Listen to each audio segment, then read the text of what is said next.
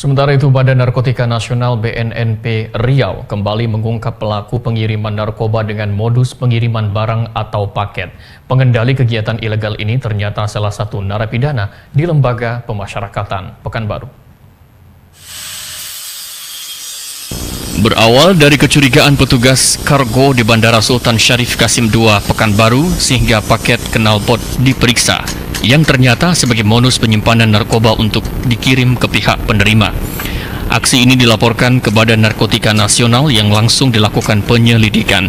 Setelah menghimpun informasi dan data, dua orang kemudian diamankan. Satu orang merupakan pengirim barang berinisial DWP yang diupah sekitar 1,5 juta rupiah.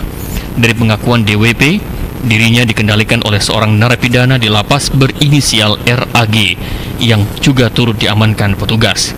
Sebanyak 477 butir ekstasi diamankan dari kegiatan ini yang langsung dimusnahkan.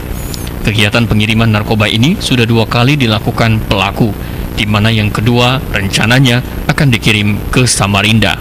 Ada pemeriksaan, ada pengiriman barang, ya, uh, dari salah satu uh, tempat pengiriman barang ke uh, JNE, apa?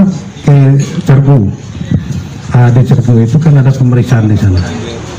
Akhirnya ditemukan oleh teman-teman kita yang sedang melaksanakan tugas uh, di Cerbu tersebut.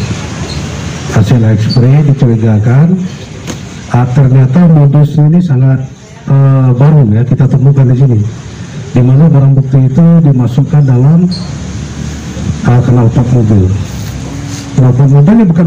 Pengembangan kasus masih terus dilakukan pihak Badan Narkotika Nasional Provinsi Riau karena masih ada terduga pengendali lain dari kegiatan ini yang sudah ditetapkan menjadi daftar pencarian orang atau DPO.